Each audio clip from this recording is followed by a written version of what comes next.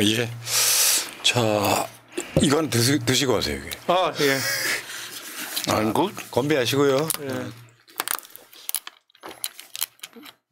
아임 굿, 아임 굿 정말 좋은 제품이에요. 이제 요즘에 다 저는 모든 국민들한테 필요한 제품이라고 생각해요. 어, 맛이 좋은데요?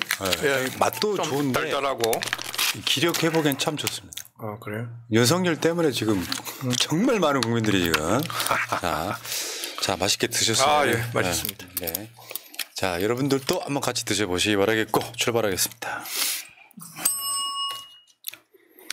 자 월간 정세연 11월호 생방송으로 발행하겠습니다. 지금 제 앞에 두 분 나오고 계십니다. 전세 정세현 전 통일부 장관님 나오셨습니다. 어서 오십시오. 예, 반갑습니다. 야, 또 이번 달에도 아버지 또 건강하게 뵀네 또. 왜? 전화 와갖고 예를 들어서 나 감기야 못 가. 오, 그냥 뭐, 뭐. 야, 성대모사까지 이제. 그러면 어떻게 해요? 근데 우리, 우리 아버지는 목소리가 젊으세요. 아, 그럼. 아, 목소리도 뭐, 뭐. 네. 다, 뭐. 목소리 하나 가지고 내가 국민학교 3학년 때부터 공부를 했거든. 네. 그러니까 목소리 때문에 아마 선생님 시켰을 거야. 음. 근데 그걸 이거는 이 목소리는 아버지한테 물려받은 것 같아요. 아, 근데 진짜 그 연령대 보통 제가 성대모사 하는 건 나이 좀 드신 분들인데 정세현 장관님보다 더 어린 사람들 목소리예요 이게. 아 윤석열이 그럼 그 이런 목소리잖아요. 아, 내 목소리가? 아니 아니. 아니, 다른 젊은 사람. 어, 장관님보다 젊은 사람들의 목소리 성대모사 한 거고 장관님은 지금 저거 성우하셔도 돼요. 얼굴 안 나오는 걸로. 자 그리고 그 옆에는 경남대 극동문제연구소 이병철 교수님. 예. 여러분 반갑습니다. 이병철입니다. 예. 예. 자, 두 분도 그 못 뵙는 한 달 동안 고민이 많으셨을 것 같아요. 이게 아, 나라가 뭔 꼴인가. 그렇습니다. 그렇죠. 예, 일단 뭐 제 분야에서는 트럼프 대통령이 네. 어, 대통령으로 이제 당선됐다는 게 제 개인적으로는 굉장히 좀 충격으로 좀 다가왔습니다.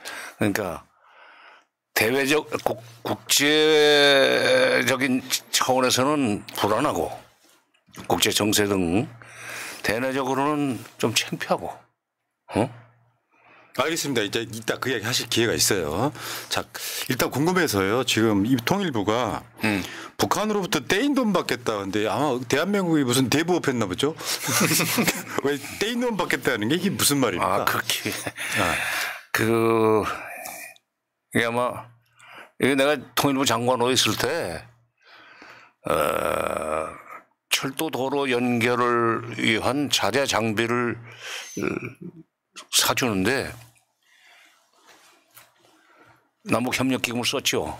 근데 그때 이제 그 공사가 다 끝날 때까지 들어간 돈이 지금 2002년부터 그 공사를 시작을 했는데 2002년부터 완전히 마무리된 것은 한 2008년 그러니까 어, 이명박 정부로 넘어왔을 거 끝났을 겁니다.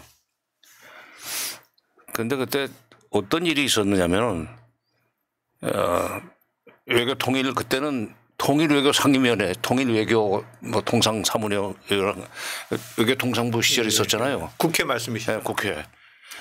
요즘은 외교 통일위원회라고 그러지만 그때는 통일 외교 통상모 위원회인가 그럴 때예요. 거기서 그 대정부 질문이 있었습니다. 근데 분명히 지금 그 이름까지 거명을 할 수 있는데 돌아가신 홍사덕 의원하고 김덕용 의원이 내가 다 이제 학교 선배다 보니까 뭐 깍듯한 존댓말 대신 이제 반말 비슷하게 정장관 그 지금 차관 형식으로 주는 거죠. 그래서 예. 나중에 받을 거예요. 그래서 글쎄요. 그 일단 뭐 20년 거치 무슨 10년 상환 뭐 이런 식으로 형식은 갖추되 그걸 그들이 돌려주리라고 생각하고 그런 건 아닙니다. 그 왜 그런 식으로 하는 거예요? 일무일답식으로 했죠. 북한 사람들이 남쪽으로부터 여러 가지 물자 지원을 받을 때 에, 까놓고 하는 얘기가 있습니다. 주는 사람만 자존심이 있는 게 아니고 받는 사람도 자존심이 있으니까 좀 너무 그렇게 도와준다고 해서 그걸 생색을 낸다든지 모양을 막 그냥 그 소문을 내면서 요란하게 하지 말고 좀 조용히 줄 수 없느냐. 그런 얘기를 많이 했어요. 대표적인 게 그때가 95년 쌀 회담 때인데 아 그때 쌀 회담이지. 그 남쪽은 뭘 좀 주면은 꼭 무슨 어그 북쪽에서 무슨 반대급부를 받아내려고 그러는데 남쪽에는 그 이 형제가 밤새 형이 볕단을 동생 집 앞에 갖다 놓으면 동생은 그 볕단을 또 다시 또 형님 집 앞에 갖다 놓는 그런 그 전래 동화가 있는데 남쪽은 그런 것도 안 가르칩니까? 뭐 그런 얘기를 하더라고. 그러면서 주는 사람만 자존심이 있는 게 아니고 받는 사람도 자존심이 있으니까 너무 그렇게 생색을 내거나 막 무슨 뭐 법, 법, 법제화하고 계약서를 쓰고 하는 그런 식으로 좀 안 올 수 있으면 좋겠습니다. 근데 그 얘기를 했어요 국회에다.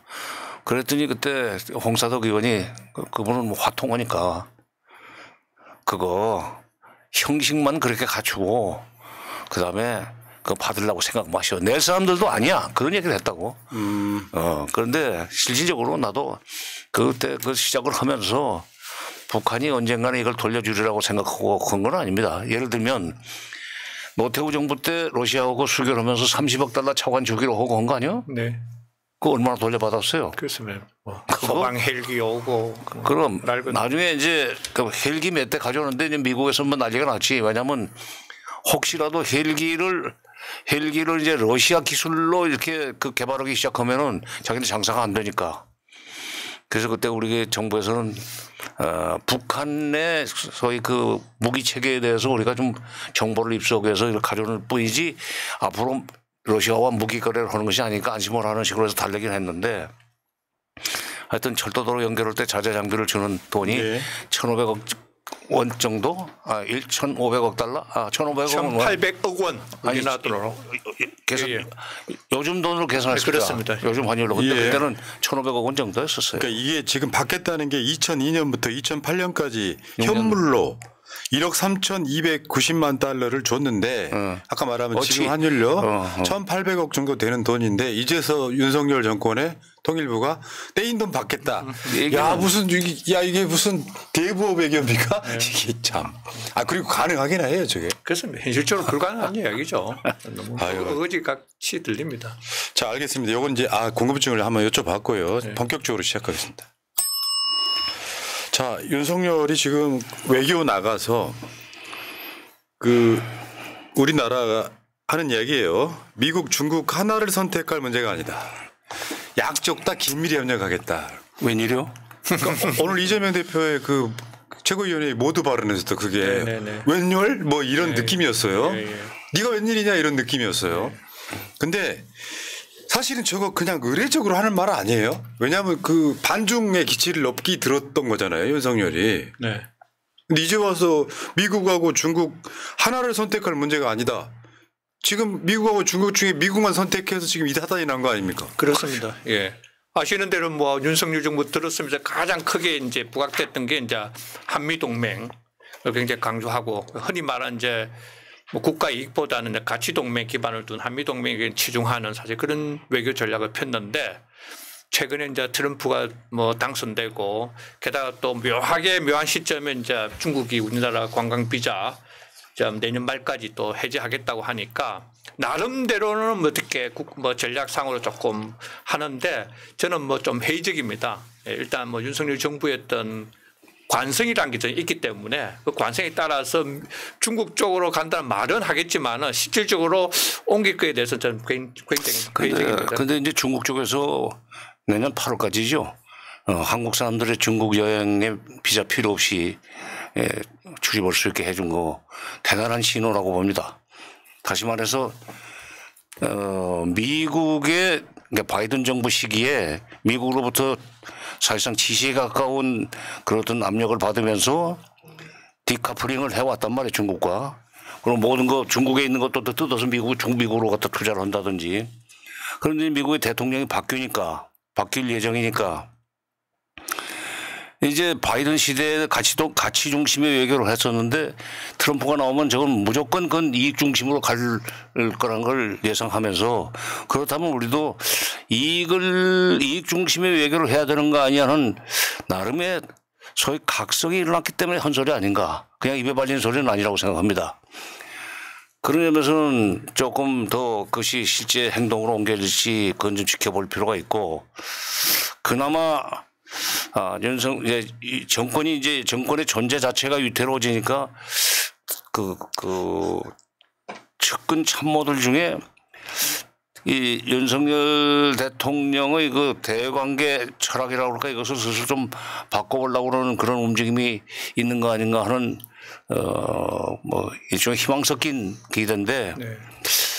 뭐그 그대로 갈 수 있다면 나쁘지 않죠. 예. 근데 기조라는 게 있었는데 2년 예, 반 예, 동안 예, 예. 갑자기 이전에 그렇지 않았다는 듯이 미국, 중국 중에 하나를 선택할 문제가 아니다라고 이야기하면 최소한 윤석열을 지지하고 있는 사람들 입장에서는 저게 뭐지 할 거 아닙니까? 그 당연히 뭐죠. 저는 그러, 그러려면 일단은 좋다 그러면 미, 미국에서 중국으로 좀 변화를 좀 주겠다면은 저는 외교안보팀 사람들을 바꿔야죠. 바꿔야 됩니다. 현 상태에서 유지하면서 하겠다는 거는 저는 앞뒤 맞지 않는 논리고요. 그래서 네. 윤석열 대통령이 어떤 중국 조금 중시하겠다는 발언한 거는 저는 좀 더 지켜봐야 될 맞죠, 때문이죠. 맞죠. 네. 그 김태효가 사실은 외교를 대부분 다 그렇습니다. 하고 있다고 하는데 네네, 네. 그런데 또 이게 앞뒤가 안 맞는 게 또 윤석열이 러시아 면전에서는 러시아 북한 불법 군사협력 즉각 중단하라고 이야기를 했어요. 네. 면전에서 저는 러시아와 북한이 불법적인 군사협력을 즉각 중단할 것을 강력하게 촉구합니다. 네. 아 왜냐하면 우리가 러- 우크라이나랑 만약에 동맹쯤 된다면요, 그냥 할 수 있다고 생각해요. 네. 근데 왜 저렇게까지 나서 갖고 해야 되는지. 그 중국과 미국을 선택할 문제가 아니다 해놓고는 러시아 면전에서는 즉각 중단을 하라고 이야기를 합니다. 아니 내로남불이야. 그러니까 한일 한미 간의 에, 그 군사 협력을 어 좀 정말로 시간이 갈수록 강화시키고 있고 그것도 모자라서 한미일 삼각동맹 쪽으로 나가려고 하기 때문에 북한이 지금 러시아 쪽으로 도망가는 거 아니에요. 그렇습니다. 그렇게 만들어 놓고는 그러니까 북러 군사적 밀착의 원인 제공은 윤석열 정부가 한 거예요. 어? 그 전에는 어 뭐 군사 정권 시절에도 한미 합동 훈련은 춘추로 두 번 한 두 번밖에 안 했어요. 지금 이 윤석열 정부 들어서 가지고는 1년에 지금 한 대여섯 번 이상 하잖아요. 네. 더구나 그것도 한미 일이 공중훈련, 해상훈련 이런 마당에 북한이 겁이 나서라도 러시아하고 지금 손을 잡고 뭔가 지금 막아야 되고 근데 지금 러시아 파병을 가지고 문제를 삼는 것 같은데 러시아 파병은 솔직한 얘기로 군사적인 차- 차원보다는 소위 그 인건비를 챙길 수 있는 그 경제적인 측면에서 그 원인을 분석해야 된다고 나는. 용병이라고 봐야죠. 그렇지 용병이지. 자, 그러니까 이게 당장도 나오는 메시지가 저기서는 우리가 또 눈치 좀 봐가면서 러시아랑 관계도 좀 안 넘어뜨리는. 근데 지금 윤석열은 지금 러시아한테는 지 가치 해결을 얘기하고 있는 거고 중국한테는 또 가치 해가 없는 것처럼 이야기를 해요. 실용 얘기죠. 앞뒤가 이렇게 하, 참. 근데요. 아니 그러니까 네. 자- 자기가 조금 전에 한 말을 하고 지금 한 말하고 바로 뒤에 한 말하고 그게 에, 그 불일치가 된다는 걸 어, 깨닫지 못하는 모순을 일으킨다는 사실을 모르고 말한다는 건 이제 알았단 말이에요. 그게 한두 번이 아니에요 지금. 그러니까 G20이라고 하는 공간에 모여갖고 음. 굳이 자기가 나서지 않아도 다른 나라들이 뭐 유럽 국가라든지 일본 같은 데서 그 이야기를 해줄 수도 있는데 네. 본인이 나서가지고 하니까 저 지금 러시아 반대쪽에 있는 나라들은 윤석열 잘한다 잘한다 오구오구 하고 있는 거예요. 아니 이게 무슨 외교예요? 예. 부인이 안 따라가서 그런가요?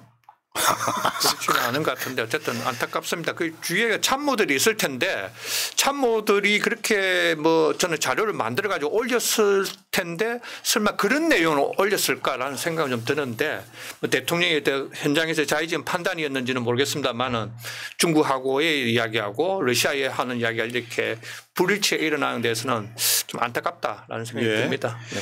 자 근데 지금 우크라이나 러시아 전쟁이 천일 됐다고 합니다. 천일. 뭐 벌써 그러겠죠. 어, 3년이 훨씬 넘었다는 건데 사상자만 100만 명을 추산한다. 물론 이걸 데이터를 냈겠습니까마는 실제로 제가 최근에 본 자료에 의하면 우크라이나에 인구가 3분의 1로 줄었답니다. 사상자도 있고 나가버린 사람도 있겠죠. 어, 그렇죠. 그러니까 완전 폐허가 되는 거고 지금 바이든 같은 경우는 이제 이따 그 이야기가 나오겠습니다만 젤렌스키가 자기 정권 유지에서 저러는 거거든요. 그렇습니다. 이게 한 발짝만 더 나가면 윤석열이 닮아갈. 수 있는 그 딱그 상황이란 말이에요. 100만 명이면 이게 물론 이제 사상자이기 때문에 뭐 돌아가신 분만 포함되는 건 아닌데 100만 명이면은 어마어마한 인구잖아요. 어마어마한 인구죠. 그래서 뭐 젤렌스키로서는 이제 뭐 정치적인 이제 위기가 뭐 올 수 있다고 조바심이 나 있는데 불행하게도 뭐 지금 바이든이 떠나는 마당이고 그리고 집권하자마자 대통령이 뭐 당선되자마자 24시간 안에 우크라이나 러시아 전쟁을 종료시키겠다, 시키겠다고 한 트럼프가 들었었기 때문에 좀 더 지켜봐야 되겠지만은 젤렌스키 입장으로서는 굉장히 지금 최악의 시나리오가 지금 만들어지고 있다고. 근데 이제 트럼프가 이제 취임을 해서 자기가 선거 기간 중에 공언했듯이 24시간 또는 뭐 적어도 24일 이내에 그 끝내려고 하면은 이제 휴전 협상으로 들어갈 수밖에 없는데 사실 6.25 전쟁 때도 그랬지만은 50, 51년부터 시작된 휴전 협상이 이제 53년 7월 27일 날 끝나지 않습니까? 휴전 협상이 결과적으로 이제 그 27일 날 날짜를 정해놓고 휴전 협상을 한 건 아니지만은 휴전 협상이 시- 계속되고 그것이 만나는 횟수가 많아지면 많아질수록 전투는 더 격렬해집니다. 그렇습니다. 서로 오히려 되는. 한 뼘이라도 더 자기 쪽으로 끌고 들어오려고 그래서 앞으로 한 두 달 정도가 우크라이나 러시아 전쟁에서는 그 전쟁의 피해는 훨씬 더 커질 수밖에 예. 없습니다.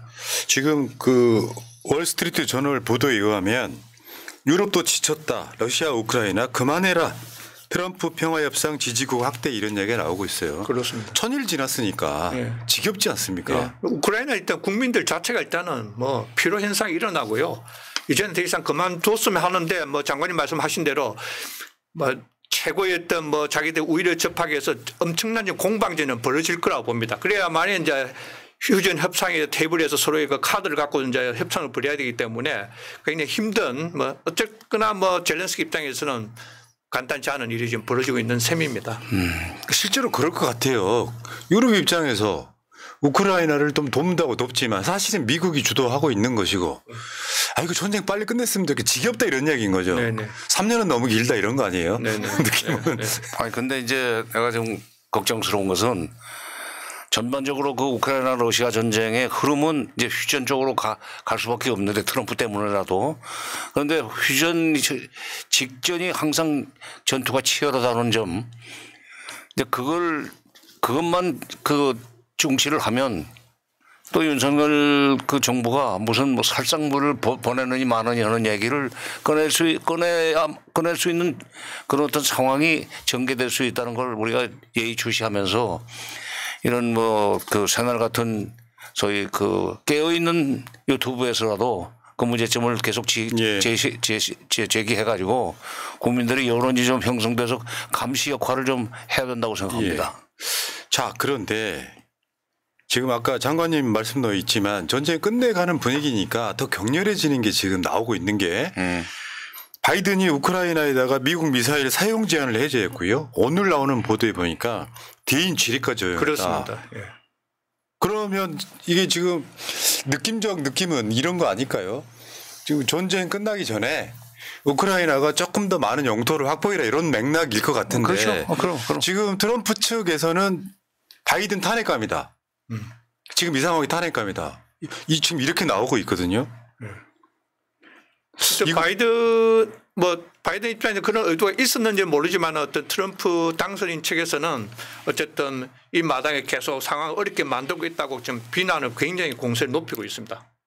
트럼프 측에서는 예, 어떻게 보면 뭐 에이텍 캠스도 넘어갔고 이제 대인지뢰도 이제 뭐 제공하고 하니까 뭐 젤렌스키 입장에서는 좀 바람직하고 희망을 뭐 가져 봄직하겠지만은 트럼프 입장에서는 굉장히 해방 놓는 해방꾼으로 아마 바이든 측을 아마 비난할 거라고 좀 봅니다. 그러니까 우크라이나가 에이테크스 미사일 6개를 그냥 네. 러시아 본토에 꽂아버리고 그러고 나니까 푸틴은 우리 핵무기 사용할 거야 이러고 있는 거잖아요 그렇습니다. 지금. 예. 와 막판 정말 무섭네요 진짜. 예.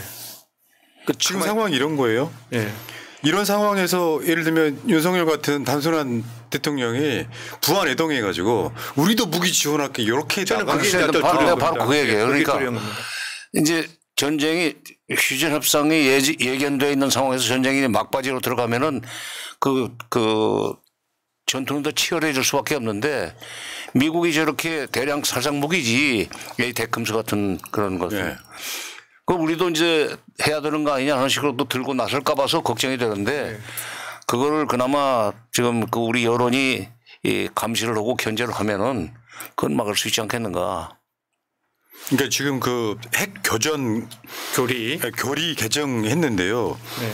비핵 보유국이 재래식 무기로 러시아를 공격할 경우라도 핵 보유국의 지원을 받는 경우에는 그 미국이나 뭐 이런 거겠죠. 핵무기로 대응할 수 있다는 내용의 핵교리니까 딱 정확하게 우크라이나 맞춤형. 니들이 핵 보유국인 미국의 도움을 받아서 우리한테 미사일 쐈으니 우리는 우크라이나로 핵 터트릴 거야 이거잖아요. 그럼 3차 대전 아닙니까 이거? 그렇습니다. 그 3차 대전 굉장히 이제 푸틴 입장에서는 이제 굉장히 핵무기 사용했던 문턱을 굉장히 낮춘 셈이거든요. 이번에 핵 교리를 이제 수정함으로 인해 가지고 그래서 일부 외신에서는 이제 60년대 쿠바 냉전 시기 이제 쿠바의 어떤 뭐 이, 이후에 엄청난 최고의 어떤 핵 위기 사태가 지금 벌어지고 있다고 하는데 저도 굉장히 우려는 되고 있습니다. 어. 그러니까 옛날에는 핵, 핵무기 있는 나라한테만 해당되는 그렇습니다. 교리였죠. 예, 예. 야, 씨, 이거 뭐 이거 살벌하네요. 예, 전쟁 굉장히. 살벌합니다. 예. 뭐 푸틴의 이렇게 핵무기 선제적 핵무기 사용을 뭐 해온 게 사실 처음은 아니지만은 이제 실질적으로 이제 법제화했기 때문에 핵 사용의 문턱을 낮춘 거는 틀림이 없어 보입니다. 그래서 앞으로 이때 핵무기 사용은 끊임없이 계속 이렇게 빈발할 거로 저는 예상을 합니다. 어, 참네 그 상황이 이렇게 지금 돌아가고 있는데 대통령 못 모르는 사람이 아까 그 G20에서도 막 나서는 거 있잖아요. 그렇습니다. 러시아 면전에서 네네. 이럴 때는 눈치를 봐가면서 최대한 그 생각만 해야 되는 거 아니에요? 우리 국익만 어떤 게 더 잘하는 건지 신중해야 되고. 예. 아 참. 배우 조정자가 같이 안 가서 그러나?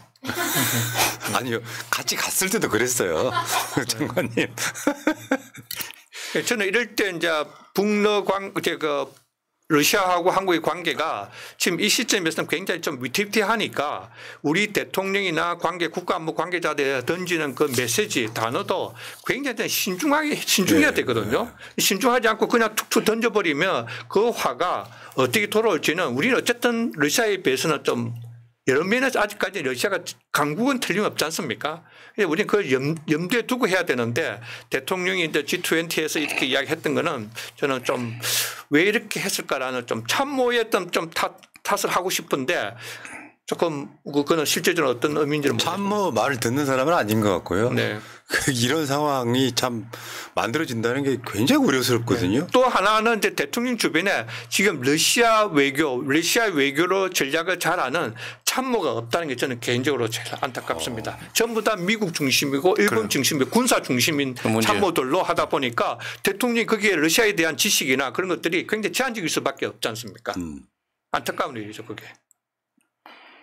맞아. 그리고 게다가 러시아를 보는 시각 또한 미국의 어떤 필터를 갖고 렌즈를 갖고 러시아를 보기 때문에 우리만 그걸 걷어버리고 우리만 했던 렌즈를 갖고 러시아를 바라봐야 되는데 지금 그게 안 보인다는 거죠. 두 가지 요인이 있다고 봐요. 하나는 미국 입장에서 보니까 일단 바이든 정부 입장에서 보면 오구오구 잘하네 이거고 네. 그러니까 신났고 거기다가 윤석열 지지하는 대한민국 지지층들이 네. 야 러시아한테 바로 저런 이야기를 면전에서 할 수 있어 역시 남자다이 네. 딱 이런 느낌의 오구오구 이런 거예요.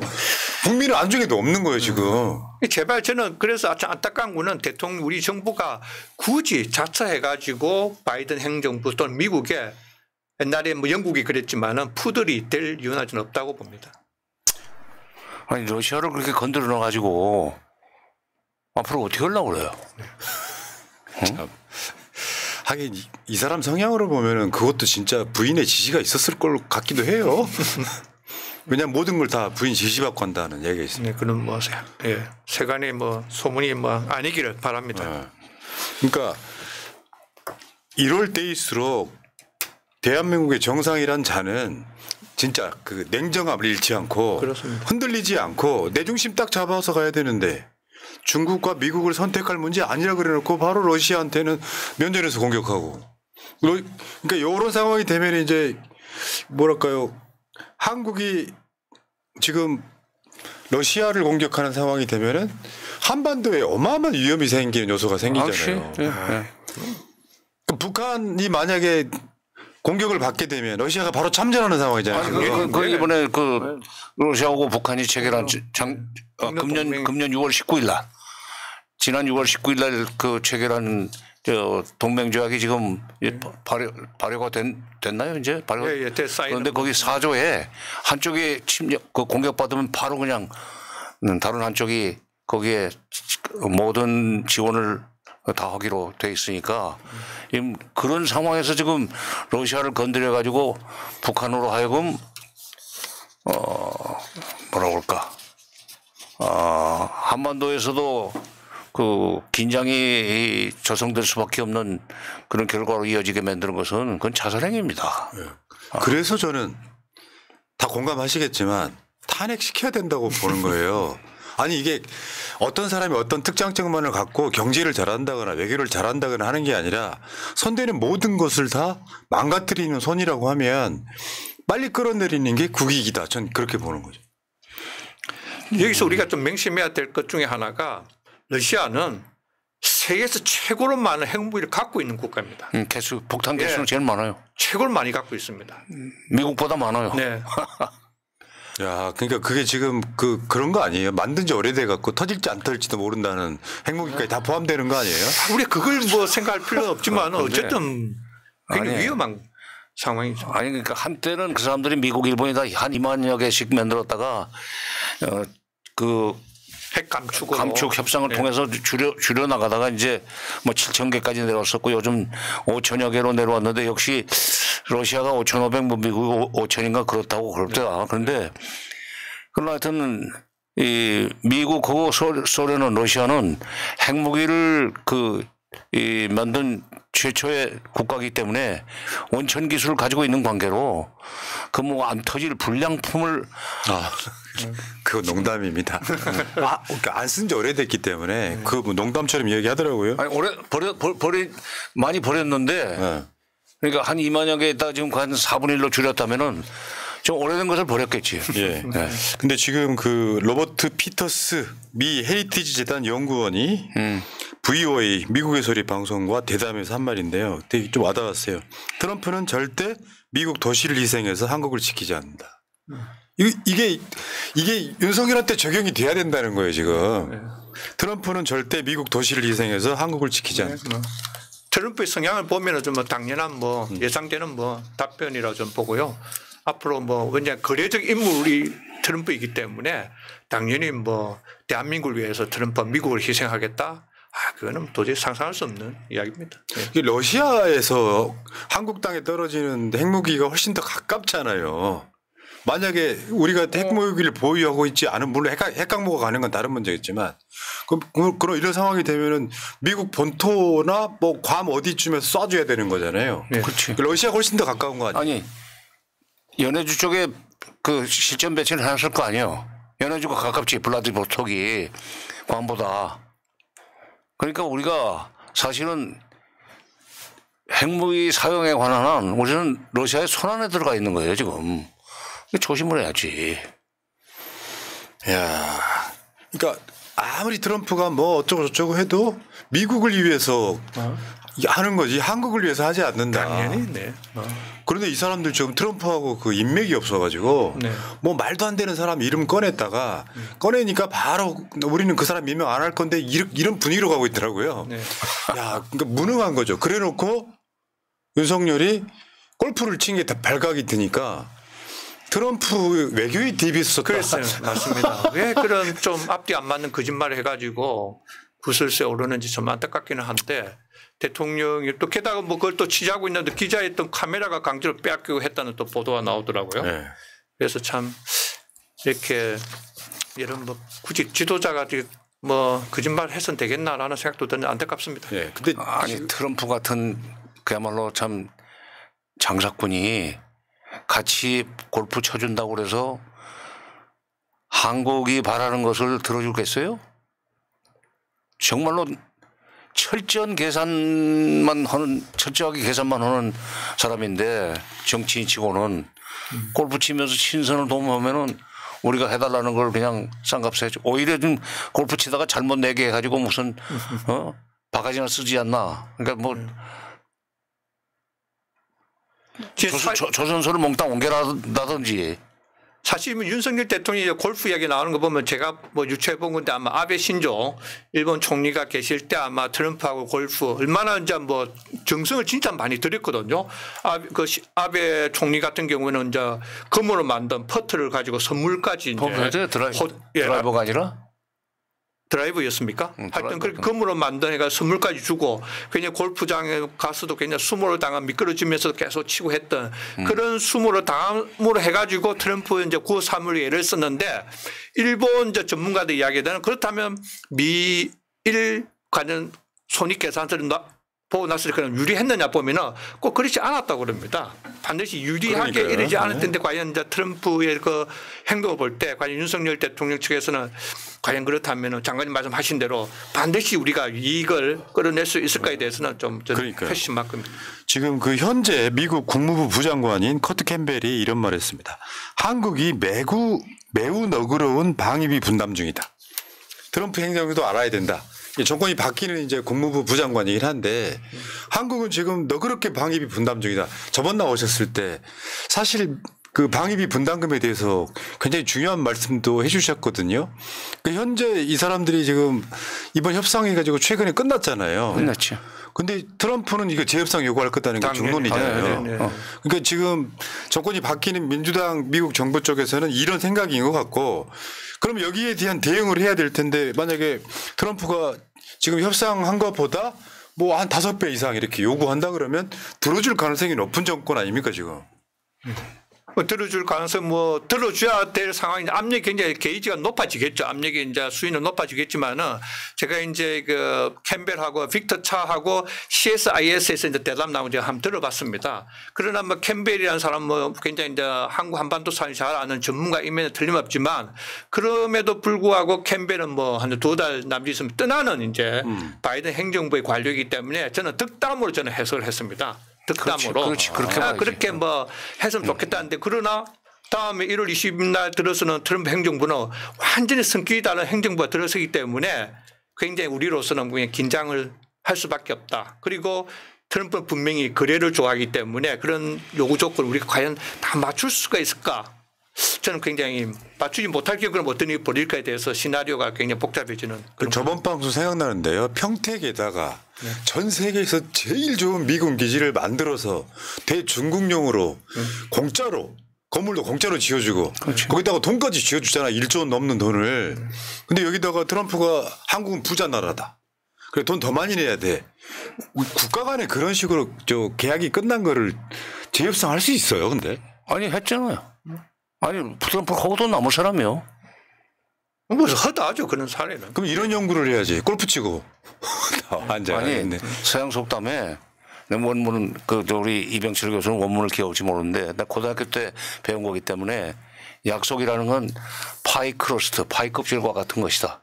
그때 이제 선생이 영어 선생이 설명하기를 여기서 약속은 그냥 개인 간의 promise를 얘기하는 게 아니고 이거는 국제적으로 무슨 조약이라든가 어 협정이라든가 쌍방 쌍무 협정 그것까지 다 포함된 얘기다. 그렇기 때문에 약속만 쉽게 파이껍실 것처럼 깨지는 것이 아니라 그것도 얼마든지 깨질 수 있으니까 그런 그런 걸 잘 알고 앞으로 어 뭐 공부를 해라 하는 얘기를 하신 영어 선생님이 있었어요. 저- 얼마든지 지금 트럼프 같으면 다시 협상하자고 그럴 거예요. 저번에 그 굉장히 인상적이었던 게 북한도 대한민국에 있는 주한미군이 철수하길 바라지 않는다. 왜냐? 북한은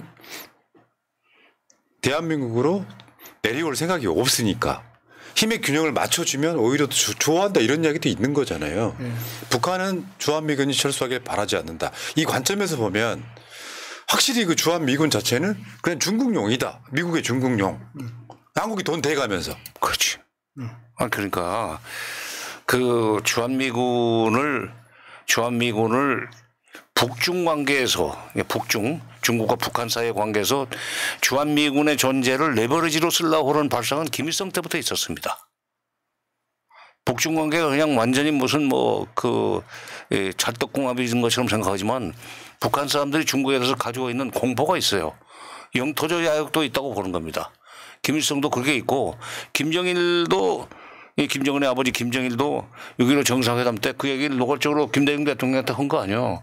뛰놈들은 이건 어, 욕심이 많습니다. 영토 야욕까지 있기 때문에 저 바다 건너에 있는 미국을 남과 북이 손을 잡고 북과 남의 손을 잡고 미국을 활 이용해서 중국을 견제하면서 우리가 평화롭게 좀 지냅시다. 그 DJ가 놀랐던 거 아니에요. 그래서 북미 북미 정상회담을 성사시키려고 어 그 외교안보 수석을 보내고 또 나중엔 결국 매들린 올브라이트 국무장관이 또 가게까지 하잖아요. 평양에 아니 저 평양에 갔죠. 그러니까 그 얘기를 김정은이 또 하더구만. 그러니까 미군을 북한이 필요로 한다는 점에서 그런 점에서도 지금 우리가 방위비 분담금 협상을 할 때 그런 여러 가지를 좀 그 활용할 필요가 있어요. 트럼프는 확실히 우리 입장에서 보면 윤석열과 굉장히 유사한 측면이 있어요. 기후 위기는 탄소 배출 때문이 아니라고 주장하는 사람이라 다른 방송에서 그 주제로 다뤄봤는데 근데 비, 비슷한 점이 있는 뭐가 예측 불가 예측 불허가 그 비슷한지 몰라도 트럼프는 계산은 매우 정확하게 날카롭게 하는 사람입니다. 그렇죠. 그게 다르죠. 윤석열, 윤석열은 그건 아닌 것 같아요. 굉장히 너그럽게 그냥 대충. 그러니까 강약 약강이 맞습니다. 강자한테는 되게 약하고 약자한테는 되게 강한 캐릭터. 그런 사람을 우리는 싫어하잖아요. 검사들 특성이 아, 그렇죠. 그렇죠, 그렇죠. 네. 권력한테는 약하고 국민들한테는 강하고 참. 근데 이번에 보니까요 또 북한이 31번째 오물풍선 보냈는데 뭐 새벽마다 쏟아지는 이 그 재난 문자에 그 오물풍선 계속 오는 것도 짜증나는데 저게 저걸로 시작된 거예요. 지금 북한으로 간 거예요. 우리가 보낸 겁니다. 그렇지. 초코파이 저런 걸 집어넣어가지고 굉장히 모욕을 줬다 이런 얘기를. 그러니까 막 굶, 굶어 죽는 사람들한테 초코파이 주는 거 아니에요? 저거 원래 그 개성공단 그렇습니다. 분들이 초코파이 되게 좋아했던 거죠. 저게. 했었죠, 실제. 그건 맞습니다. 예.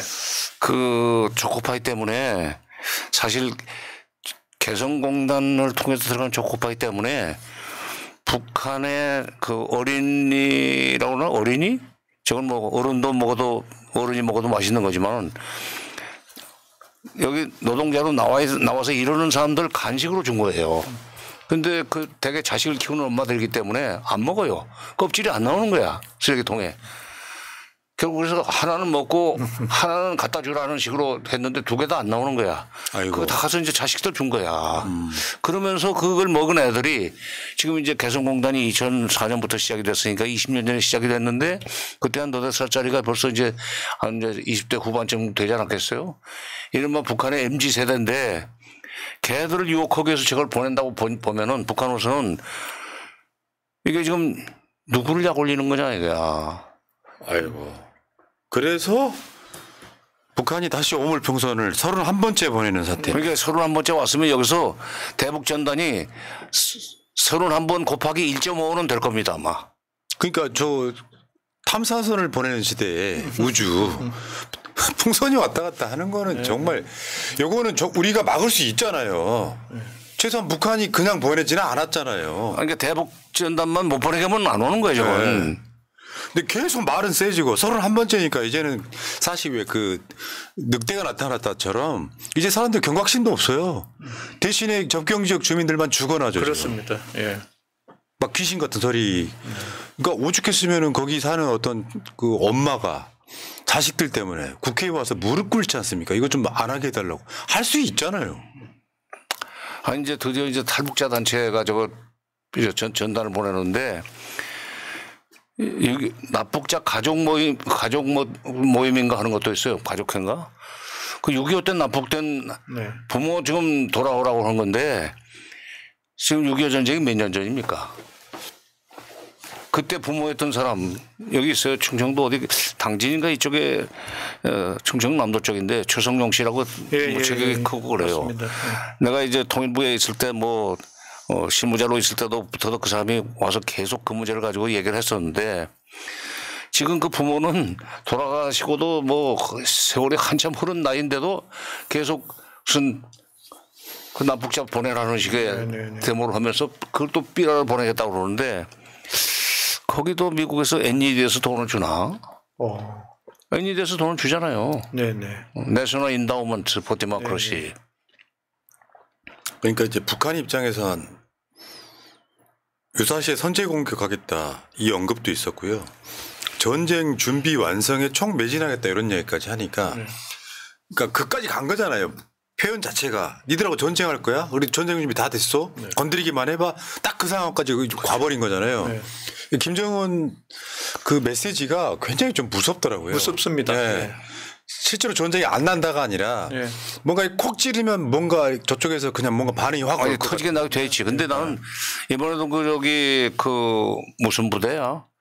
여기 그 군 그 지휘관들하고 네네, 군, 네. 군 부대 정치 지도위원 정치 지도원 어 같이 모아놓고 네. 어 그런 자리에서 어 핵전쟁 준비를 뭐그 계속 해나가야 된다는 얘기를 하는 걸 보고 그리고 아무 때나 전쟁이 터질 수 있기 때문에 그 대비해야 된다는 얘기를 그 들으면서 우리가 몰라서 그렇지 북한이 볼 때는 하여튼 한미 합동 군사 훈- 뭐 공중 훈련 해상 훈련이 계속되니까 언제 이 총알이 날아올지 모른다는 공포 속에 살고 있다는 반증이라고 나는 생각을 했습니다. 어. 이게 북한 편 드는 게 아니에요, 절대로. 그동안에 내가 북한을 오랫동안 뭐 연구를 하고 상대를 해왔던 그 경험에 입각해서 볼 때 저렇게 세게 나올 때는 이쪽에 대북 압박이 그만큼 셌기 때문에 저렇게 나온다. 그러니까 최근에 우리나라 주식 시장도 안 좋고 환율도 안 좋고 다 안 좋잖아요. 그거 그거 윤석열이 만든 리스크도 그렇죠. 있다고 봐, 보는 게 맞고. 그런데 윤석열이 2년 반 동안 뭐 힘에 의한 평화를 외쳤지 않습니까? 아니 문재인 정부 때도 그 국방력에 대해서는 강조했던 건 맞는데 다른 작업을 같이 했어야 되는데 힘에 의한 평화를 외쳐 이거 이것도 강약 약강이거든요. 군사력이나 뭐 경제력으로 봤을 때 북한은 우리가 무조건 이긴다 생각해서 너 조용히 있어. 힘으로 억누르려고 했지만 평화는 사라진 상태. 그게 힘에 의한 불안만 남았어 지금. 네. 원래 국방부가 힘에 의한 평화를 만들기 위해 평화를 지키기 위해서 힘에 의한 평화를 지키기 위해서 국방부는 있어야 돼요. 그러나 소위 그 협정에 의한 평화를 만들기 위해서 통일부가 있어야 되는데 통일부 예산도 확 줄이고 인원도 줄이고 그리고 무슨 뭐 가능성도 없는데 무슨 뭐 북한이 떼먹었다는 얘기를 할 수가 없어요. 지금 이제 그 원래 그 규정대로 보면은 20년 거치 무슨 뭐 몇 년 상환 후 그때는 문서상으로 그렇게 돼 있지만은 이제 이제 돈을 갚을 갚, 갚, 갚으라고 얘기를 해야 될 시점인데 뭘 떼먹었다는 얘기를 또 하고 나서 아 참. 진짜 힘에 의한 평화란 말. 저 말이 틀린 말은 아니거든요.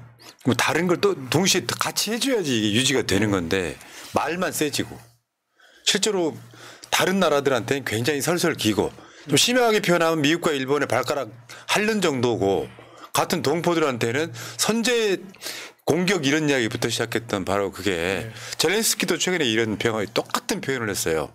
힘에 의한 평화로 정의로운 평화 가져오길. 그러나 평화가 왔습니까?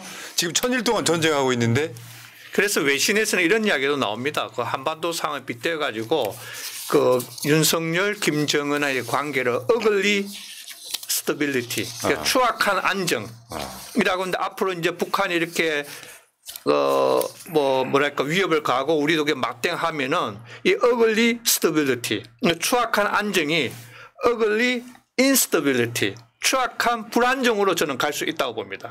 그거는 곧뭐 그냥 도발이고 전쟁이고 그래서 굉장히 불안불안한 거죠. 예.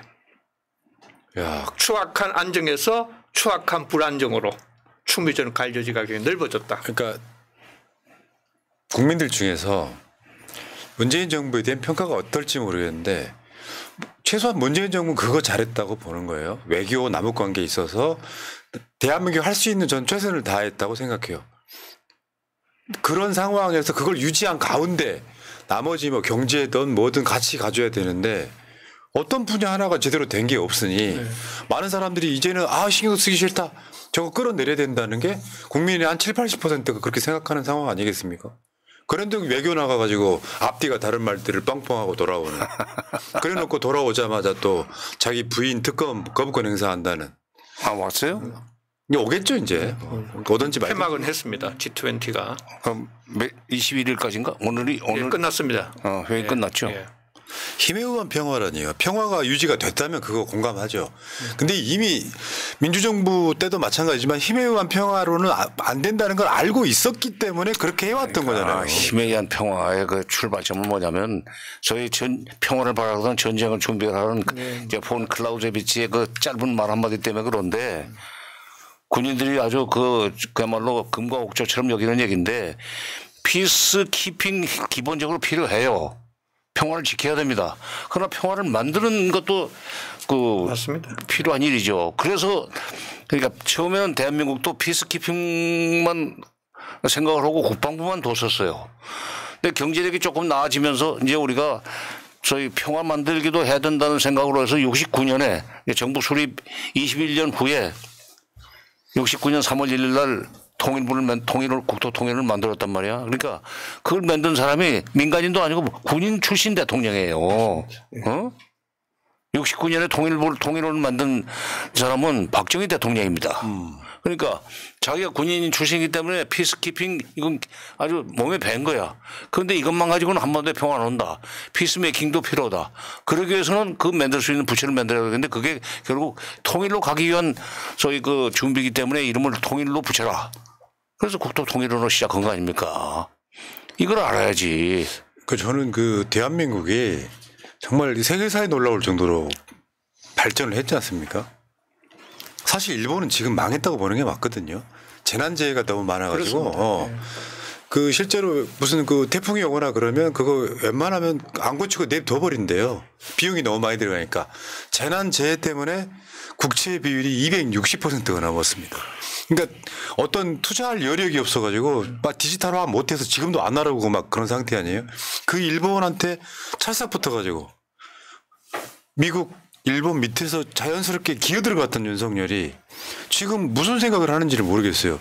여기 외교만 잘해도 대한민국이 그 위치를 지킬 수 있는 건데 저는 우리나라 국민들이 대한민국이 섬나라인 것만 벗어나도 어마어마한 그 경제 발전 그게 있을 거라고 생각이 드는데 대체 뭐 하는 건지를 진짜로 모르겠습니다.